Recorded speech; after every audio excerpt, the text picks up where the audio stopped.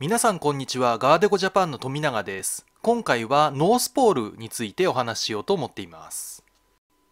可愛らしい花を長い期間咲かせてくれるノースポールは冬から春にかけてのガーデニングの定番となっている花ですよね。そのノースポールの基本的な育て方を5つのポイントにまとめてお話しします。ぜひご覧ください。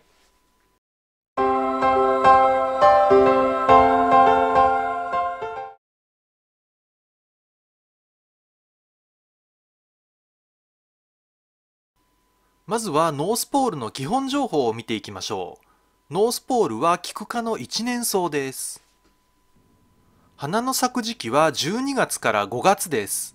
冬の寒さには強くマイナス10度くらいまで耐えます。一方で夏の暑さには弱く枯れてしまうので一年草扱いとなっています。これらの情報を踏まえてノースポールの育て方を見ていきましょう。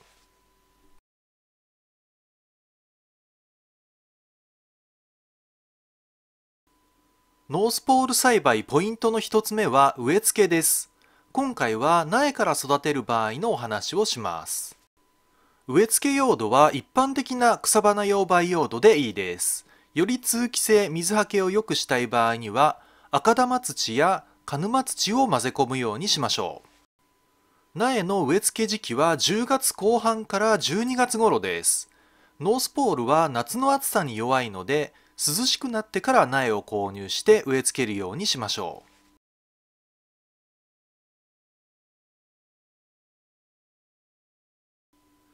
ノースポールは日当たり、風通しの良い環境を好みます。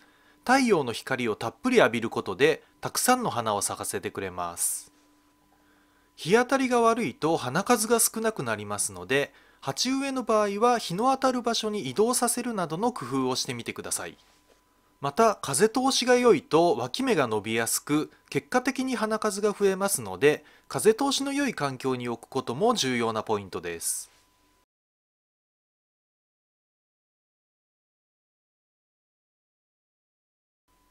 ノースポール栽培のポイント3つ目は水やりについてです。鉢植えの場合は基本的に土の表面が乾いてから水やりをするようにします。また鉢を持ち上げて軽く感じるようであれば水やりのサインです。鉢底から流れ出るくらいにたっぷりとやりましょう。庭植えの場合は植え付けの時以外基本的に水やりの必要はありません。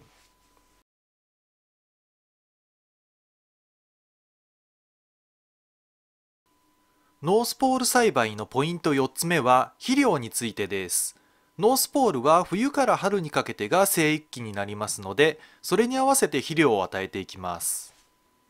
ゆっくり効くタイプの観光性化成肥料の場合は規定量を月1回株元から少し離れた場所に与えます。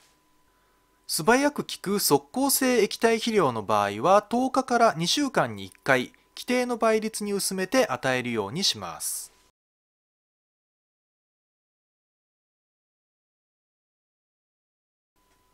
ノースポール栽培のポイント5つ目は剪定切り戻しについてです。ノースポールは花が咲き終わると種をつけるので株の消耗を防ぐために切り戻しをします。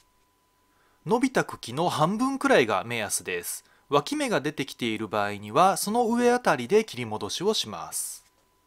種をつける前に花がら摘みをすることで株の消耗を防ぐことができて脇芽も伸びてくるので次々と花を咲かせてくれるようになります。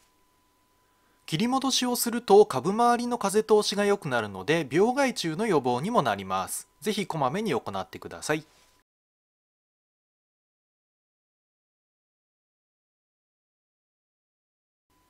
それでは今回の動画のまとめです。ノースポールの基本的な育て方についてお話ししました。一般的な草花用培養土に植え付けて日当たり、風通しの良い場所で管理をします。水やりは土の表面が乾いたらたっぷりと。肥料は規定量を定期的に、花がら摘みはこまめに行います。これらを参考にしてノースポール栽培を楽しんでみてください。